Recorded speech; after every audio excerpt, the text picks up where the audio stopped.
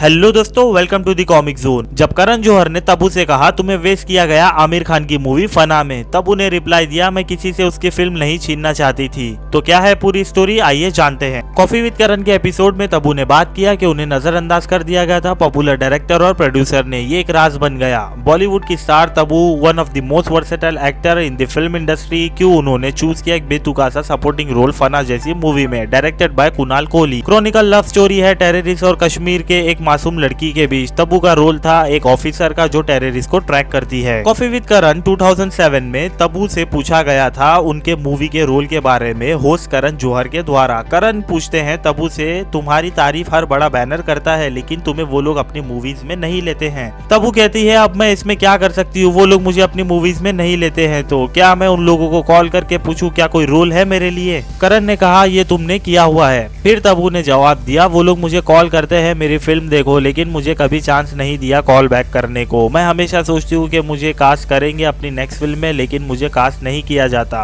करण ने फिर से एक बार फना की बात करते हुए कहा, तुमने मेन स्ट्रीम फ़िल्म किया है फना, तुम्हें वेस्ट किया गया है उस मूवी में, क्योंकि तुम बहुत ही ज़्यादा टैलेंटेड हो ऐसे रोल्स के लिए। तबू ने कहा, मुझे नहीं लगता मुझे वेस्ट किया गया है। मुझे पता है मैंने कैसा रोल किया है। मेरी कोई इच्छा भी नहीं है किसी का रोल छीनने में। मैं जितना भी की ठीक ठाक ही था। तब उन्हें अपने करियर में बेहतरीन फ़िल्में की है क्रिटिकली बहुत ही पॉजिटिव रिस्पॉन्स था। जैसे चाची 420 हम साथ साथ है, नेम से मकबूल, हैदर, दृश्यम। हाल ही में रिलीज़ हुई भूल भुलैया टू, जो की एक ब्लॉकबस्टर साबित हुई बॉक्स ऑफ़िस पर। तब वो जल्दी फिर से दिखने वाली है दृश्यम टू में, अजय देवगन के साथ। तो इस बारे में आपकी क्या राय है? कमेंट सेक्शन पर ज़रूर बताएँ। और आखिर में छोटी सी रिक्वेस्ट तो वीडियो को लाइक और चैनल को सब्सक्राइब करने की। तो मिलते हैं नेक्स्ट वीडियो में।